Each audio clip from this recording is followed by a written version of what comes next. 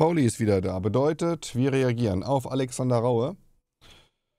Vermietertagebuch, aka Verlierertagebuch. Er hat äh, sein Faultier aus dem Hintergrund entfernt. Wahrscheinlich, weil er auch dieses Video hier mal wieder sieht. Grüße gehen raus nach ähm, Costa Rica. Lass mal deinen faulen Kollegen wieder mal erscheinen im Hintergrund. Er ist, glaube ich, gerade in Deutschland, so wie es ausschaut. Brisant, CSU benutzte selben Deutschlandspruch. Keine Strafe. Damit meint er wahrscheinlich den Ausruf von Björn Höcke. Alles für Deutschland, ein Leitspruch der SA, verboten nach 86a StGB. Und mal schauen, wie er das dahin schwurbelt. Vorgestern wurde der AfD-Spitzenkandidat Björn Höcke für seinen Do Von wo ist er denn Spitzenkandidat? Ähm, Höcke übrigens hat das äh, wohlwissend äh, rausgebrüllt. Er ist ja auch Geschichtslehrer. Deutschlandspruch zu 13.000 Euro Strafe verurteilt, aber jetzt könnte es zu einer 180-Grad-Wendung kommen, weil die CSU-Politiker bereits vor ihm genau denselben Spruch benutzt haben. Das ändert strafrechtlich überhaupt nichts. Überhaupt nichts. Nur weil ein anderer einen äh, Mord begeht, heißt noch lange nicht, dass du dann äh, auch einen begehen darfst, um es mal ganz krass auszudrücken. Und dafür keine Strafe bekommen haben. Schauen wir uns die Details mal an. Los geht's. Deutschland ist wirklich das allergrößte Kasperle-Theater und aktuell sehen wir das Ganze live an dem Gerichtsprozess von Björn Höcke und das Justizsystem macht sich komplett lächerlich. Nicht nur wird die Unschuldsvermutung komplett außer Kraft gesetzt, sondern es wird auch der Glauben vom Richter ohne Beweise höher bewertet als die eidesstattliche Aussage des Angeklagten. Und also hat Höcke eidesstattlich ausgesagt. Das äh, bezweifle ich mal, dass es stattgefunden hat. Bereits das ist ja schon eine riesengroße Frechheit. Strafbarkeit ist abhängig vom Kontext der Benutzung. So ist es. Für unser Justizsystem und hat absolut nicht. Ich meine, selbst äh, Blue Tiger hat das ja in einem Stream gebrüllt. Ähm, darauf habe ich hingewiesen. Er hat dann gesagt, er zeigt mich an wegen Verleumdung. Hat er wohl auch gemacht. Interessanterweise hat er es bei ähm, Hugo im Stream dann zugegeben, als ihm quasi die Pistole auf die Brust gesetzt worden ist. Und dann wurde er gefragt, ja, ob er das in seinem Stream gesagt hat. Dann hat er dann ja ganz kleinlaut Ja gesagt. Ja. Strafbar, Paragraph 86a StGB, lieber Blue Tiger. Nichts mehr mit einem seriösen Rechtsstaat zu tun, aber, meine lieben Zuschauer, es kommt sogar noch härter. Weil gestern kam nämlich heraus, dass die CSU genau denselben Spruch in der Öffentlichkeit gesagt hat, für den Höcke jetzt verurteilt wurde, aber die CSU ging dafür völlig straffrei aus Aha. und wurde noch nicht mal angeklagt. Ja, wann war denn das? Vielleicht ist es noch nicht verjährt. Und bevor wir uns die Details dazu anschauen, noch eine kurze Klarstellung zu meinem Video von gestern. Weil gestern in dem Video war mir nämlich ein kleiner Fehler unterlaufen. Ach. Ich sagte, dass Höcke zu 130.000 Euro Strafe verurteilt wurden. Ja, und in Wirklichkeit waren es nur 13.000 Euro. Ich hatte aus Versehen eine Null zu viel abgetippt und ich bitte euch, mir diesen kleinen Fehler zu verzeihen. Ja, sonst, äh, wenn äh, immer wieder so einen kleinen Fehler zu geben, obwohl seine ganzen Videos Schwachsinn sind. Aber jetzt, wo dieses große Problem aus der Welt ist,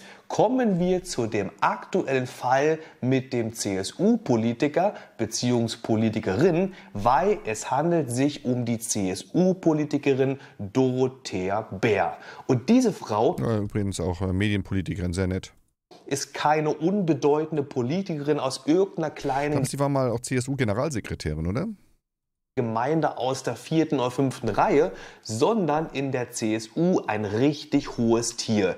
Wikipedia sagt, Dorothee Bär ist eine deutsche Politikerin der CSU. Sie gehört seit 2002 dem Deutschen Bundestag an und ist seit Dezember 21 eine stellvertretende Vorsitzende der CDU-CSU-Bundestagsfraktion. Von 2018 bis 2021 war sie Staats stellvertretende Fraktionschefin und Staatsministerin war sie unter Merkel. Staatsministerin bei dem Bundeskanzlerin Merkel sowie ja. Beauftragte der Bundesregierung für Digitalisierung im Kabinett Merkel IV. Ihr seht also, das ist eine richtig wichtige Politikerin und genau diese Frau hat am 2. Februar 2018 um 11.34 Uhr Vormittag 2018, fünf Jahre Verjährung ist also verjährt. Folgendes auf Twitter gepostet.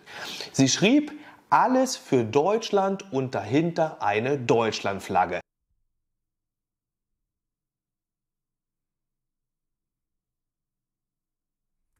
Mhm.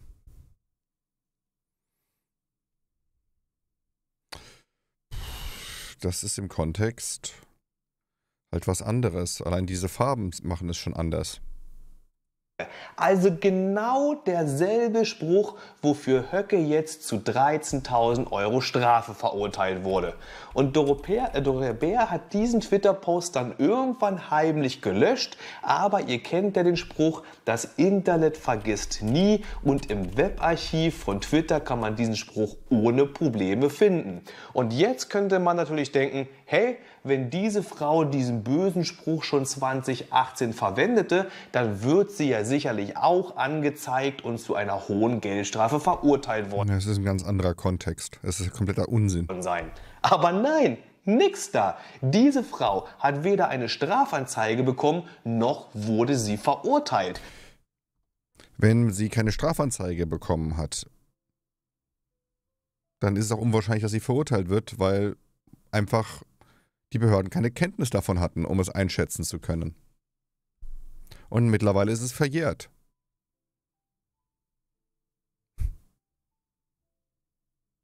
So einfach ist das.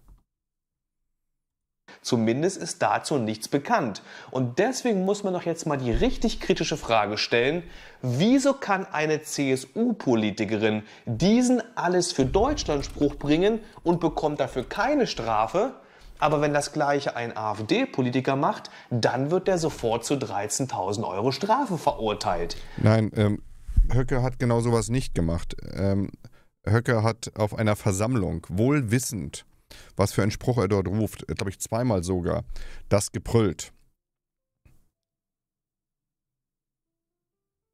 In seinem rassistischen Kontext und seinem faschistoiden Verhalten.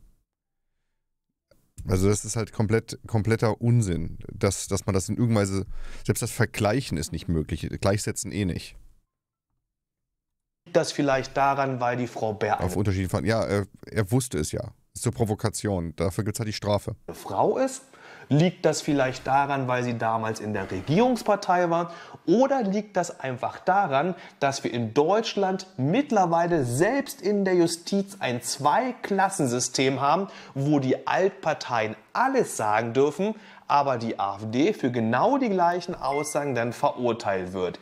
Ihr seht also, dieser ganze Strafprozess um Höcke wird immer lächerlicher. Es wird zu einem riesengroßen Skandal für das deutsche Justizsystem und Deutschland macht sich komplett lächerlich. Und es ist ja auch völlig egal, was man vom Höcke denkt, ob man den gut findet oder nicht. Hier geht es einfach um die Unabhängigkeit unseres Justizsystems. Und dieser Prozess zeigt eindeutig, dass wir in Deutschland... Nö, überhaupt nicht. Deutschland ein Zweiklassensystem haben, wo es Bürger erster und zweiter Klasse gibt. Gehörst du zu den Altparteien, bist du ein Bürger erster Klasse und bist du ein Freund der AfD, bist du ein Bürger zweiter Klasse. Und das ist wirklich die allergrößte Heuchelei der Altparteien. Wenn du zum Beispiel... Hey. Äh, einfach, einfach nur dem Land schaden. Auch, auch raue, einfach nur dabei dem Land zu schaden. E-Sports-Strategie, Dankeschön eine Transfrau als Mann ansprichst, wirst du sofort wegen Diskriminierung direkt zu 10.000 Euro Strafe verurteilt. Wenn aber ein Politiker wegen seiner Parteizugehörigkeit diskriminiert wird, dann ist das plötzlich egal. Und wie gesagt, das ist nicht nur komplett lächerlich, sondern das ist illegal und verstößt sogar gegen das deutsche Grundgesetz. Schwachsinn. Im Grundgesetz der Bundesrepublik Deutschland steht im Artikel 3 Absatz 1 und 3. Ja, aber warum hat er das ja nicht angezeigt? Das ist, äh, es war im Februar noch nicht verjährt, oder? 2004? Doch. Es ist schon lange verjährt. Alle Menschen sind vor dem Gesetz gleich. Niemand darf wegen seinem Geschlecht, Abstammung, Rasse, Sprache, Heimat, Herkunft, Glaubens, religiöser und politischer Anschauung benachteiligt oder bevorzugt werden. Da steht's ganz genau. Niemand darf wegen seiner politischen Anschauung benachteiligt oder bevorzugt werden. Aber genau das ist hier passiert. Höcke wird für einen Satz verurteilt und Dorothea Peer bekommt für genau denselben Satz keine Strafe. Und deswegen gibt es eigentlich nur zwei mögliche Optionen. Erstens, die CSU-Frau Dorothea Bär, der wird ebenfalls der Prozess gemacht und sie wird ebenfalls zu 13.000 Euro Strafe verurteilt. Oder zweitens, Hey, was, also das ist so dumm. Das ist so dumm. es gibt jetzt eine 180-Grad-Wende und das Urteil gegen Höcke wird wieder aufgehoben. So wie das aktuell ist, kann es auf gar keinen Fall stehen bleiben, weil selbst die Allpolitiker diesen massiven Verstoß gegen die Diskriminierung und gegen den Gleichbehandlungsgesetz im Grundgesetz, das können sie einfach nicht mehr schönreden. Man kann ja auch nicht argumentieren, ja, das eine kannst du im Kontext sehen, das andere nicht, dort ist der Kontext wichtig, dort nicht, weil es ist nämlich völlig unabhängig, ja, ob du jetzt diesen Deutschlandspruch auf einer Wahlveranstaltung vor 1000 Leuten sagst oder ob du ihn vor Twitter vor 10.000 Leuten sagst. Beides war in der Öffentlichkeit. Und Gott, ist das. Da, da müsst ihr mal hier in die Kommentare reingehen. Das ist so dumm.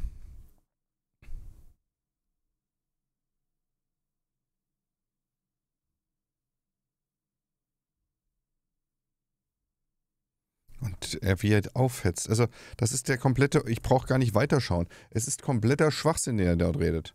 Es ist kompletter Schwachsinn. Er vergleicht Äpfel mit Birnen. Er will nur hetzen und diese ganzen Idioten, ähm, die liken das, das. Das Video hat 360.000 Aufrufe. 360.000 Aufrufe. Da hat er wieder 3.000, 4.000 Euro verdient mit so, mit so einem Müll. Es geht nur ums Geld. Und, und die Leute, die, ihm, die, die ihn feiern, die sind genauso dumm. Also er ist nicht dumm, er macht das ja des Geldes wegen. Aber die Leute, die ihm folgen, sind Vollidioten. Unglaubliche Vollidioten. Schlimm.